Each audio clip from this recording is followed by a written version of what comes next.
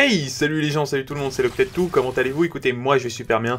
Toute nouvelle vidéo aujourd'hui sur ma chaîne personnelle aujourd'hui on se retrouve pour du Infinite Warfare. Aujourd'hui on se retrouve pour 4 nouvelles armes qui sont possibles de sortir, qui ont été trouvées dans les codes fichiers. Je vais pouvoir tout vous montrer dans les images, etc. Parce que en soi, les personnes qui l'ont montré ne se sont pas fait strike, donc je n'aurai aucun problème à vous montrer tout cela, avant d'attaquer le sujet de la vidéo, n'oublie pas de t'abonner si tu es nouveau, d'activer les notifications pour rater aucune de mes prochaines vidéos. Si on pouvait de nouveau atteindre les 700 likes, vous l'avez fait la dernière fois, cela me fera extrêmement plaisir. Donc aujourd'hui, comme je vous ai dit, on se retrouve pour 4 nouvelles armes et dont une qui ressemble à celle qu'on attend tous, à celle qui ressemble énormément à l'ACR. Je vous balance directement la première image, la VR AR 46. Elle ressemble un peu à l'ACR, on dirait une sorte d'ACR Peacekeeper. C'est un peu chelou. Après, euh, je n'ai aucune preuve qu'en soit cette arme va sortir ainsi. C'est vrai que l'arme peut être un peu modélisée, etc. Mais que cette arme-là, voilà, donc ça sera un nouveau fusil d'assaut au sein d'Infinite Warfare. Alors, est-ce que ça sera une nouvelle arme classique? Est-ce que ça sera un nouveau fusil d'assaut comme on l'a eu avec euh, la dernière arme, que je sais plus comment elle s'appelle du tout, euh, la RVN, ou je sais plus, je crois que c'est un truc du style. Donc, je ne sais pas si ça sera catégorisé en tant que fusil d'assaut ou en tant que nouvelle arme classique. Mais si c'est considéré comme nouvelle arme classique, tu vas dire, ouais mais attends, une nouvelle arme classique, il faut que ça sorte des anciens Call of Duty. On est bien d'accord.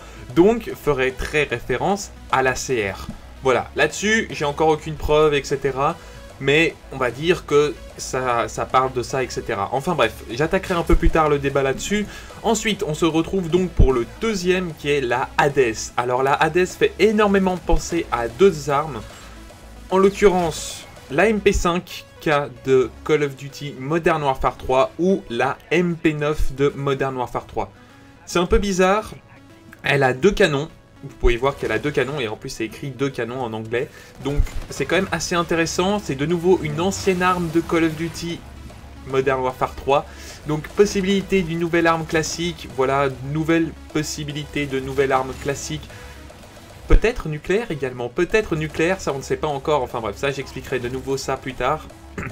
Ensuite, troisième arme qui ressemble vraiment à la PPSH de Call of Duty Modern, War, euh, Modern Warfare, n'importe quoi, de World at War et euh, de Call of Duty Black Ops 3. Alors c'est un peu bizarre au sens du terme que rajouter une arme de Treyarch au sein d'Infinite d'un jeu d'Infinity Ward, excusez-moi, donc Infinite Warfare, c'est un peu bizarre. C'est vraiment bizarre au sens du terme que cette arme peut être également modélisée pour autre chose, etc.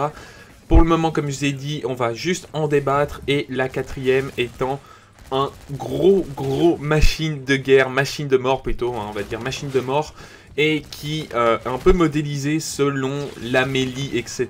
Donc c'est un peu bizarre là-dessus, c'est un minigun, est-ce que ça va être un nouveau strike, est-ce que ça va être une nouvelle arme? En soi, de nouveau, aucune preuve à ce jour, enfin j'ai aucune preuve, ça, c'est tout récupéré dans les codes fichiers du jeu de Infinite Warfare. Maintenant, on va en débattre par rapport à cela. Comment ces nouvelles armes nucléaires... Enfin, ces nouvelles armes... Chaque fois, je dis nouvelles armes nucléaires parce que j'ai tellement l'habitude de claquer des nuques. En fait, ça doit tellement être ça. Enfin, bref. Donc, ces nouvelles armes sortiront donc sur Infinite Warfare. On sait que c'est déjà des armes qui sont sorties sur les différents Call of Duty. Hein, comme je l'ai dit, la MP5, euh, également la PPSH et celle-là, la machine de mort qui existe sur Call of Duty Ghost. Donc, est-ce que la première serait la CR Ça, c'est une grande question à ce jour. C'est une grande question. Euh, pourquoi pas? On va dire que la CR qui serait peut-être modélisée ainsi. Euh, il y a beaucoup de théories là-dessus. Ensuite, comment obtenir ces nouvelles armes, euh, Chaque fois, nouvelles armes nucléaires? Non, ces nouvelles armes là où tête, ces nouvelles armes. Comment obtenir ces nouvelles armes? Euh, Aucune idée à ce jour. Ça peut être une nouvelle unité d'intervention qui va peut-être arriver pour obtenir des armes classiques. Enfin, cela m'étonnerait énormément pour la simple et bonne raison que les armes classiques se débloquent uniquement en passant, euh, comment s'appelle, des, prestiges. Donc, est-ce que en plein milieu, euh, comment s'appelle, de, de cette mise à jour qui est également sortie, ils vont ajouter ces nouvelles armes et grâce au prestige qu'on a également réussi à monter, est-ce que grâce à cela, on pourra obtenir des jetons d'armes classiques, hein, comme, euh, comme les premiers prestiges, du prestige 1 au prestige 10, on obtenait des jetons pour obtenir justement ces, nouvelles armes classiques Est-ce que cela va arriver? Aucune idée, encore une fois, là-dessus, on n'a vraiment aucune, aucune idée. Mais tout ce que je sais, c'est que ces armes-là proviennent d'anciens Call of Duty.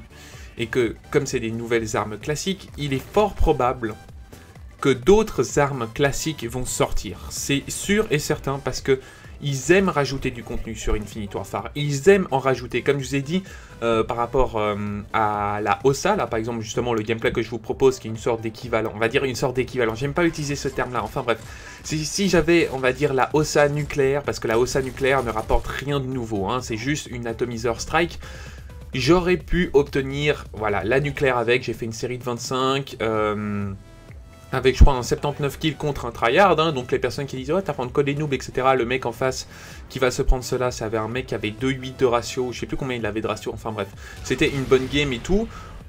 Voilà, c'est quand même assez important de rajouter du contenu sur Infinite Warfare, justement d'obtenir ces nouvelles armes-là.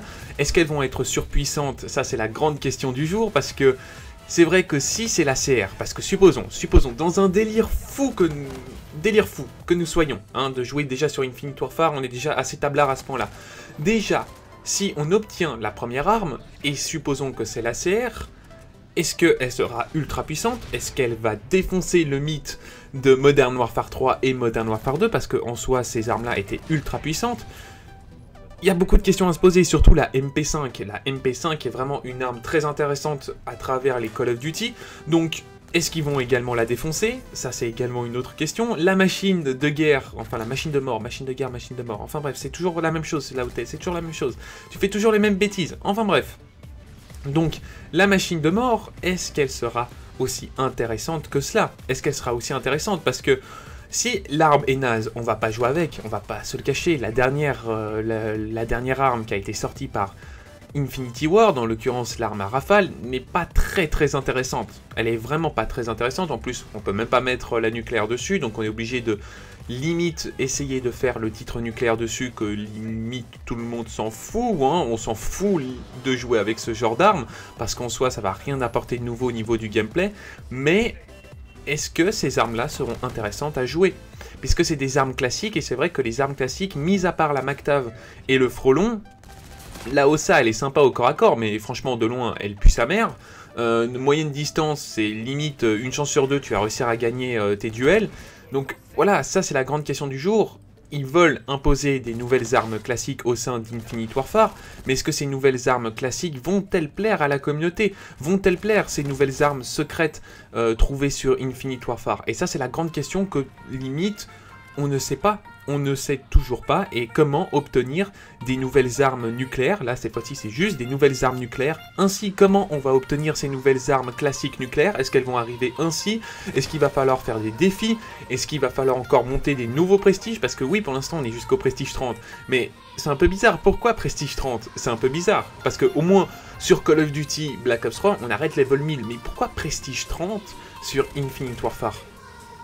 Pour arrêter de rajouter du contenu au niveau du prestige, ou tout simplement pour forcer la communauté à monter à fond, à fond, à fond les prestiges, et pour se dire, bon, maintenant je pense que c'est bon les potes, on est arrivé à un prestige qui, va arrêter la communauté pendant un certain moment, et après on va de nouveau rajouter du contenu, etc. Je pense également qu'il y aura des nouveaux prestiges qui vont arriver encore plus tard, peut-être un petit Prestige 50. Franchement, je le sens bien le Prestige 50 sur Infinite Warfare parce que les gens qui jouent beaucoup à Infinite Warfare, c'est les personnes qui aiment énormément le contenu. Donc les personnes qui vont se dire ouais Prestige 30, maintenant j'ai plus rien à faire, vont se dire attends, les personnes ne jouent plus, on va peut-être rajouter des nouveaux prestiges, etc. Ça sera également un bon moyen pour eux, voilà, de garder la communauté active sur Infinite Warfare. Voilà les gens, c'est la fin de cette vidéo j'espère qu'elle vous aura plu. N'hésitez pas à me dire qu'est-ce que vous en pensez dans l'espace des commentaires de, ces nouvelles armes, des théories qui ont été, euh, voilà, qui tournent autour de ça, etc. Me dire qu'est-ce que vous en pensez. N'hésitez pas à défoncer la barre de like, comme je vous ai dit, 700 likes. Cela me fera extrêmement plaisir. Très prochainement, je vous ferai euh, une comparaison entre la Galil de Call of Duty Black Ops 1 et la Galil de Call of Duty Black Ops 3 avec des gameplays récents, ne vous inquiétez pas. Euh, bon, de toute façon, récent pour la Galil de Black Ops 3, c'est un peu obligé, hein, c'est pas comme si elle était sortie il y a, plus de un an de cela, mais euh, voilà, c'est plutôt assez récent là-dessus, etc. Voilà, donc c'est tout ce que j'avais à vous dire. N'hésitez pas à défoncer la barre de like, de vous abonner Si vous êtes nouveau et d'en débattre dans l'espace des commentaires concernant cela, c'était l'Octet 2. Peace out.